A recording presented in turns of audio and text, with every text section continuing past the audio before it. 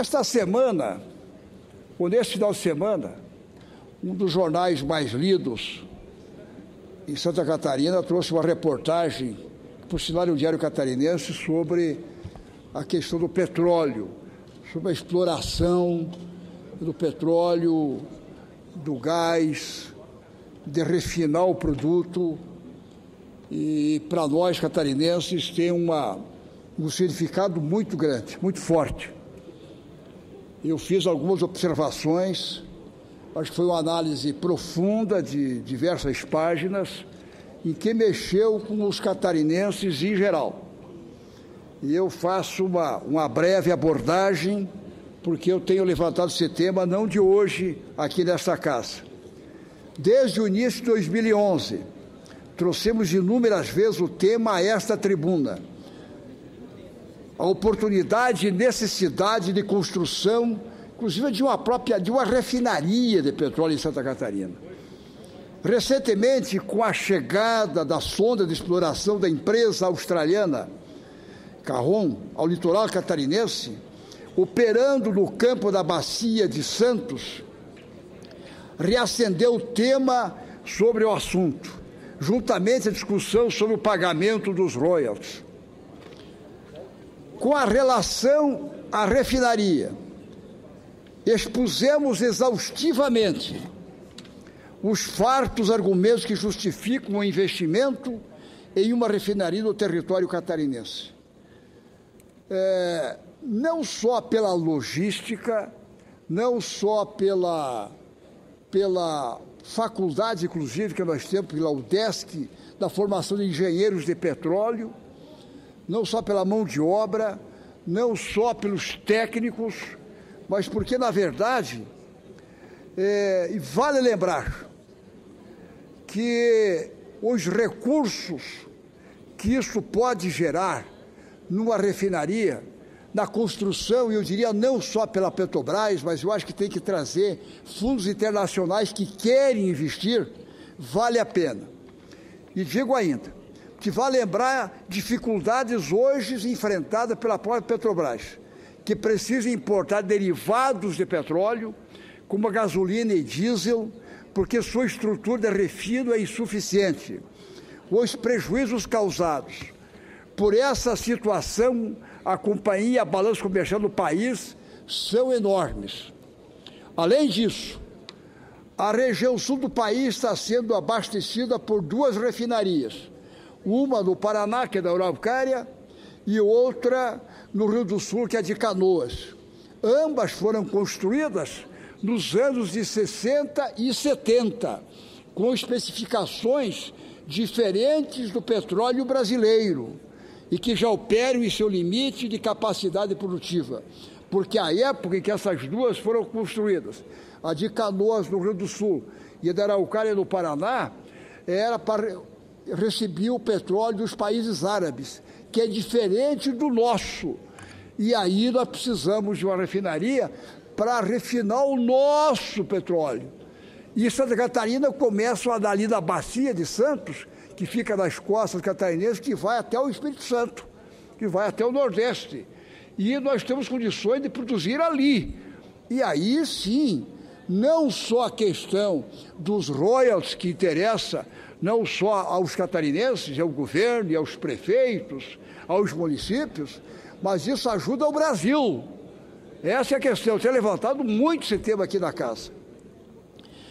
É, e eu digo aqui, é uma localização estratégica, Santa Catarina, a região, e dispõe de uma, de uma estrutura é, logística muito forte, como eu disse antes.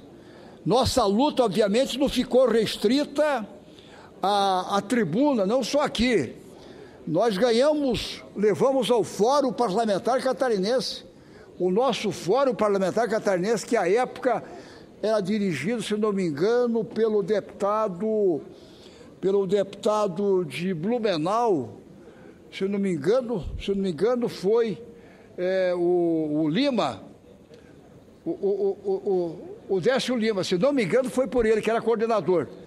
Hoje, hoje o coordenador é o, é o deputado Espiridião Amin. Eu sei que, eu sei que o coordenador, o fórum parlamentar é representado pelos três senadores e os 16 deputados federais que coordenam o Fórum de Santa Catarina. Levamos ao ministro das Minas e Energia, senador Aureliano, levamos a ele, levamos a presidenta Petrobras, é, o governo catarinense tem participado, a Federação das Indústrias, enfim, levamos a presidenta da República, Dilma Rousseff.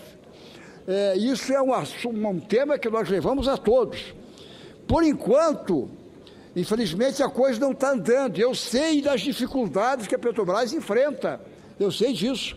Mas nós precisamos chamar a participação, não só a Petrobras, mas chamar empresas que no mundo, fundos internacionais, que querem participar. E isso nós vamos ajudar o país. Por isso que não podemos esmorecer.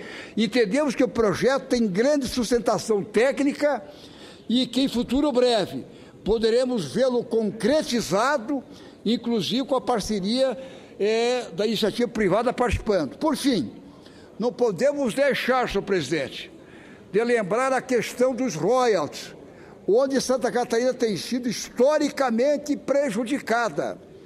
Gostaria de lembrar que o tema foi trazido ao conhecimento dos catarinenses em bela reportagem ao Diário Catarinense nesse fim de semana, que eu falei no início.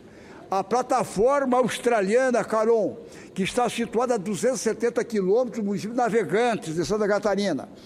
A base terrestre fica mais próxima do nosso estado, mas se encontra dentro das águas, de um certo modo, que hoje de São Paulo. Estado que deve receber os royalties numa eventualidade, numa eventual produção para valer. Aí os royalties vão para lá. Ainda assim, Caso confirmada a viabilidade comercial do poço, especula-se que a base de apoio da companhia australiana possa ser transferida de Niterói, que é hoje, para Itajaí, no nosso estado, que fica bem mais próxima. E aí nós oferecemos toda a infraestrutura, a base, Santa Catarina coloca e os royalties vão para São Paulo. Seria o segundo caso de uma infraestrutura de um município catarinense com direcionamento de recompensas a outro Estado. Em nosso litoral catarinense já opera uma plataforma da Petrobras com produção de 66 mil barris dia nos campos de Baúna e Piracaba. Apesar de toda a atividade operacional da estatal estar concentrada no município de Itajaí, que essa já opera há mais de 20 anos, o Paraná recebe praticamente todo o volume dos royalties provenientes do petróleo ali produzido. E isso nós questionamos. Já há mais de duas décadas que nós questionamos na Justiça Federal, está no Supremo, para que o traçado é, dos limites seja revisto. De acordo com o IBGE, ele foi feito e nós não concordamos. No, na época do governo Pedro Ivo, eu era o vice, dei continuidade depois. Essa questão.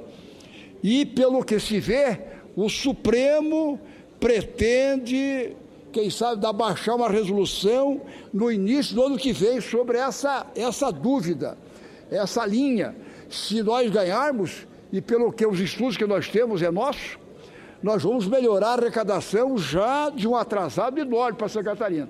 Nós queremos que o Supremo decida isso.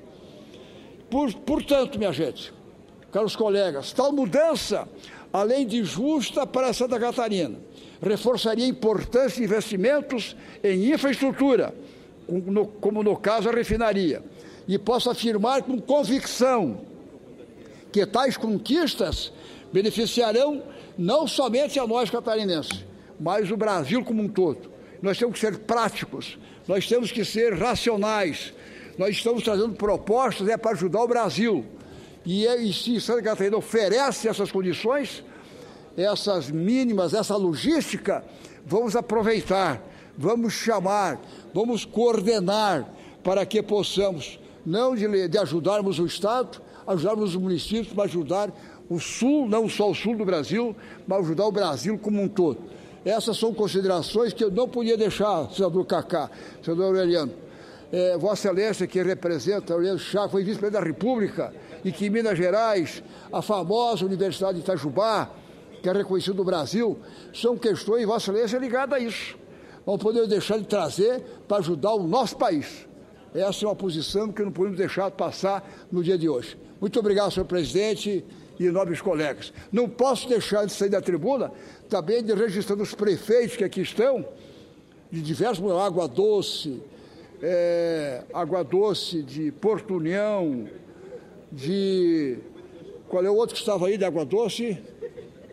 Anitta Garibaldi. Aliás, essa região, Anitta, Cerro Negro, é, Cerro Negro, é, Capão Alto, mas Campo Belo antes, foram beneficiados no governo Luiz Henrique. Foi uma festa bonita, com o asfalto de Anitta ligando de lá, Anitta passando, então, Anitta, é, o Cerro Negro, o, o, o Cerro Negro, é, passou por essa região, o Campo Belo, Campo Alto, Lages. Toda essa região serrana.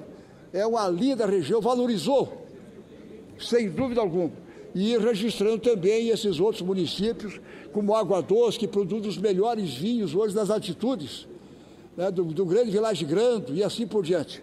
E não podia deixar também de registrar aqui, além do Porto União, eu descendo a tribuna, esteve conosco também há pouco o prefeito de Sara, é, o prefeito de Sara com a sua comitiva também, lá do sul do estado.